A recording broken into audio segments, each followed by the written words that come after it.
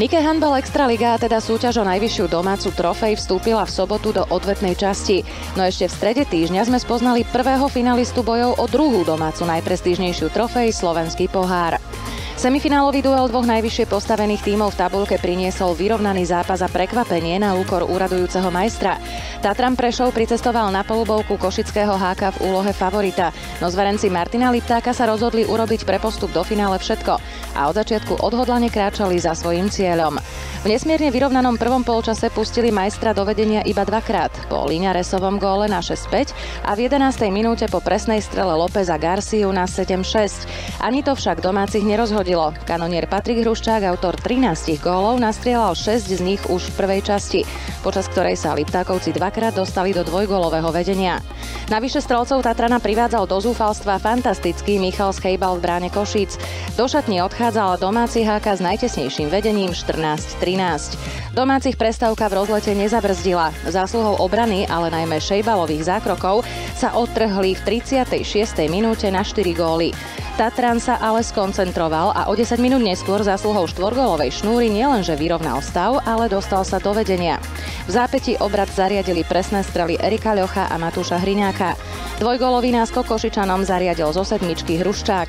Slovenský reprezentant ich v tomto zápase premenil do vedna 9 a v tejto štatistike bol 100%. Tatran ale dvoma gólmi opäť vyrovnal a 4 minúty pred koncom sa začal nelútostný boj o každú loptu. V poslednej minúte viedli hostia po presnej strele kapitána Olivera Rábeka 29-28, ale 11 sekúnd pred záverečným klaksonom vybojovali domáci sedmičku, ktorú chladnokrvne premenil Patrik Hruščák. V sedmičkovom rozstrele boli úspešnejší Košičania, ktorí sa postarali o to, že Prešov bude chýbať vo finále slovenského pohára premiérovo od roku 2006 a neobhájí zisk pohára z minulej sezóny. HK bude vo finále bojovať s lepším z dvojice Považská Bystrica Nové zámky, ktorých semifinálové meranie síl je na programe 23. februára. Ako prvá vstúpila v sobotnejšom programe Nike Handball Extraligy pred zrakmi 180 divákov do bojov 18. kola v dôležitej konfrontácii z pohľadu postupu do štvrtfinále dvojica tabuľkových susedov Bojnice a Šala. Úvodných 10 minút bolo vyrovnaných, hoci domáci udávali tempo, pričom do zostavy sa okrem kanoniera Michala Blaha vrátili aj skúsený Andrej Petro Ludek Fabian a nová posila z Košických Krous Bardejovský odchovanec Patrik Krok. Šala dokázala v 16. minúte zásluhou Štepána Součka opäť vyrovnať, no domáci zásluhou Fabianových zákrokov a šnúry 6 gólov, pričom ich nezastavilo ani vylúčenie kroka, odskočiť v 25. minúte na 15-9. Polčas vyhrali zverenci Tomáša Mažára presvedčivo 17-11, pričom 3 sekundy pred jeho záverom ešte prišli o vylúčeného Mareka Páleša a druhé dejstvo odštartovali v početnom oslabení. Ani to ale hostia nedokázali využiť. Naopak skóre druhého polčasu otvoril v skvelej forme a najmä pohode hrajúci Martin Ďurajka. V 45. minúte po trojgólovej sérii Bojničanov upravil pivot Marek Páleš už na 25-15 a hostia vedeli, že otočiť už jednoducho nestihnú napriek enormnej snahe a šiestim gólom Šimona Michneviča a piatim presným zásahom Daniela Magdolena a Štepána Součka. V domácom týme strelecky exceloval 9-gólový Michal Blaho a autor 8 presných striel Martin Ďurajka. Bojnice zdolali šalu 31-24 a v tabuľke, v ktorej už nefigurujú Košice Crows, tak preskočili na 7. priečke modru. Šala sa posunula na 9. pozíciu.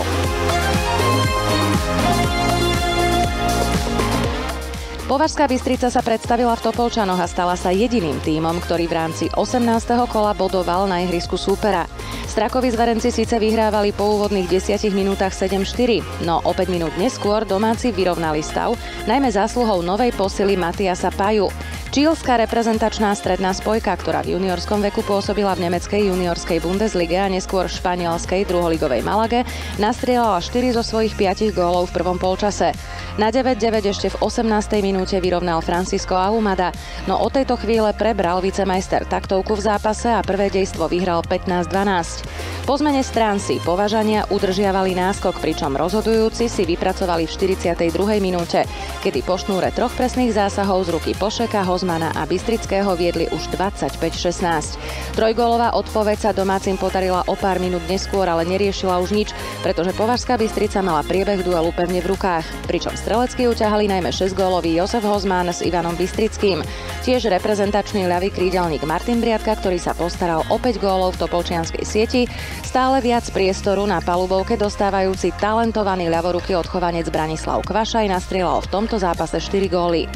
Za domáce Topolčany najčastejšie skoroval krídelník Kristian Filipeje, autor 6 gólov, 5 nastrieľal Matias Paja a 4 Ahumada s Viktorom Donosom. Považská Bystrica zdolala Topolčany 28-23 a v tabulke jej patrí druhá priečka o skóre pred HK Košice. Tretiu pozíciu o skóre za druhou považskou Bystricou potvrdil aj Košický HK, ktorý bol na domácej palubovke v súboji proti Nováčikovi záhorákom Stupava Malacký favoritom. Na rozdiel od domácich, ktorí mali v nohách stredajší pohárový semifinálový duel a jeho infarktový sedmičkový záver s postupovým koncom, pre zverencov Košičana Petra Olšavského to bol prvý súťažný zápas v novom kalendárnom roku a tak k nemu aj pristúpili s obrovskou vervou. Po 7 minútach hry držali hostia s favoritom krok a hoci sa Liptákovcom podarila trojgólová šnúra, v 19. minúte záhoráci stiahli na dva góly. Následne sa ale odmlčali na dlhých 8 minút, počas ktorých Košičania nasúkali do ich siete 6 gólov v rade. Pri chuti bol najmä rýchlo nohy najlepší slovenský hádzaná roka 2020 Martin Straňovský, ktorý len v prvom polčase nastrieľal rovnú polovicu zo svojich desiatich gólov. V závere prvej časti ešte skorigovali Jaroslav Petráš s Andrejom Polčom na polčasových 15-9. Favorit žiadne prekvapenie nepripustil a hneď v úvode druhej 30 minútovky odskočil trojgólovou šnúrou na 9 gólov. Napriek snahe aj pekným individuálnym momentom záhoráci nedokázali prelomiť nápor supera ani sa gólovo priblížiť. Ďalšia 5-gólová séria domácich v závere znamenala 4 minúty pred koncom vedenie 32-16. V závere hostia už len skorigovali na konečných 33-19. V domácom drese sa strelecky darilo okrem 10-gólového Martina Straňovského aj autorovi 7 gólov Matúšovi Hriňákovi. Patrik Hruščák zaťažil konto súpera 5 presnými zásahmi. Záhorákov počiahol 5-gólový Samuel Valent, 4 góly pridal Daniel Polák.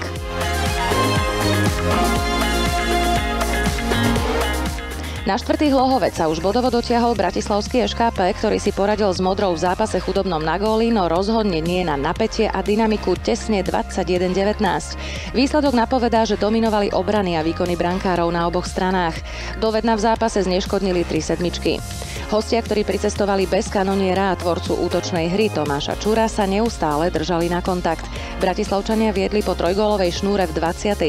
minúte 7-5, ale hostia po presných zásahoch Marka Jurkoviča a Tadeáša Kažíka v 27. minúte vyrovnali.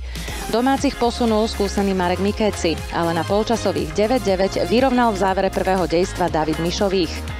Ani po zmene strán sa obraz hry nemenil. Obrany na hranici povoleného boli obrovskou prekážkou strelcov oboch tímov. V 35.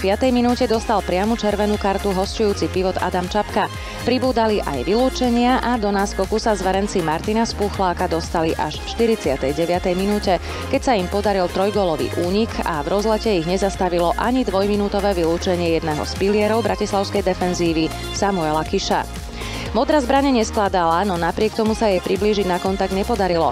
SKP ťahal najmä kanonier Derviš Birtahič, autor desiatich gólov, z toho 13 nastrieľal zo sedmičky, ktorý zvyšoval v 54.